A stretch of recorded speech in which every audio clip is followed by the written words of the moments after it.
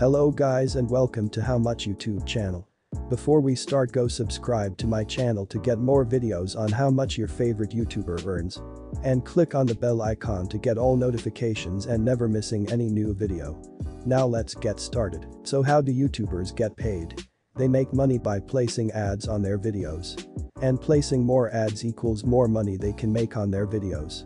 The second thing is CPM it means the cost per thousand views.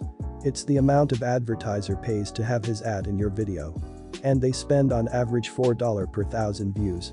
And it's calculated based on how many people watch the video and from where they are watching.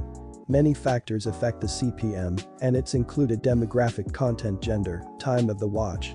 YouTube also will take 45% of your ad revenue from the advertising. Now let's go over Scott's Honest Reviews channel analytics.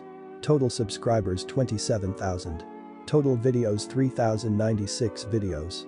Total views 16 million. Now for the monthly subscribers 100 subscribers every month. Monthly views 60,000.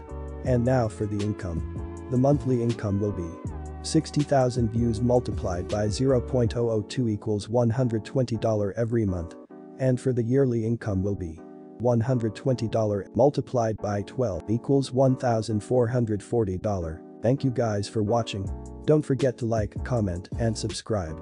And let me know who the next YouTuber you want me to do next.